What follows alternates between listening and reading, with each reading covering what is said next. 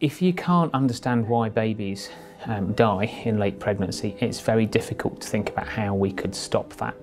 In a lot of cases, we don't actually have a reason, and that is something we desperately need to do more research on. It's very difficult for couples to try again if they don't know why they lost their last pregnancy. And we found that what goes wrong in miscarriage is you lose the stem cells that make the other cells.